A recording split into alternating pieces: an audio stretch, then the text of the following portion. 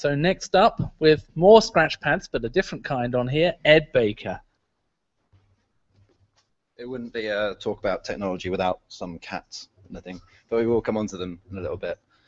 So scratch pads, citizen science. And citizen science is a big part of Vibrant. Um, so COMBER, um, done by the Hellenic Center for Marine Research, they're going to give divers these underwater cards to identify mainly fish, and they go out and dive with people and get their records and put them online. And it's the start of a good citizen science project, but they found a few problems.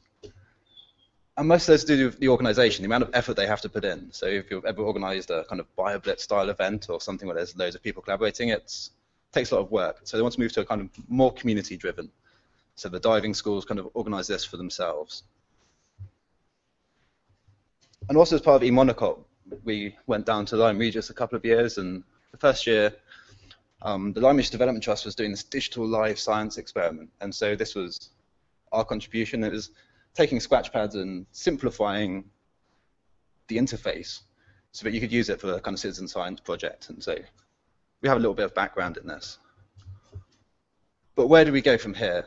And we have vibrant deliverables that we actually need to deliver a citizen science module for scratchpads, whatever that may be.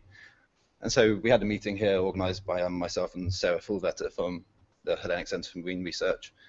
We kind of came up with a few plans first of all, it's got to be on Scratchpad. So they're taking their COMBER, the diving system, and putting it into Scratchpads. It was in Drupal anyway, which is the same backbone as the Scratchpads. And so we kind of considered a few things. What are our strengths in this area? Um, first one is we've done it already, and we can handle this kind of data. And we have experience working with communities, so it's up to over 500 now. So we're kind of fairly well set to start tackling some of these problems. But there are, are, a couple of places where we fall short. Scratchpads, the traditional interface, kind of more geared towards taxonomists and citizen science. Um, there's a lot of data you can put in, and most of it, if you're a citizen science, is more of a complication than a kind of cause for joy. And we don't really deal with these yet. So we come up with a roadmap. Focus on data management and analysis. These are kind of the cool the core tool, tools of Vibrant, of Scratchpads, is we don't really care what data you put in, we just provide the tools for managing that data. Simplifying the user interface, make things as easy for people to contribute and collaborate as possible. And then this kind of came a bit later actually when Simon and Berlin recently, is try and find a way of getting smartphone support into this system. So yeah, that's pretty much done. Thankfully for um, Simon and I at least, um, there's a new developer uh, in Crete who's going to be doing the taking what we've done and tidying it up and making it a kind of packageable product. product.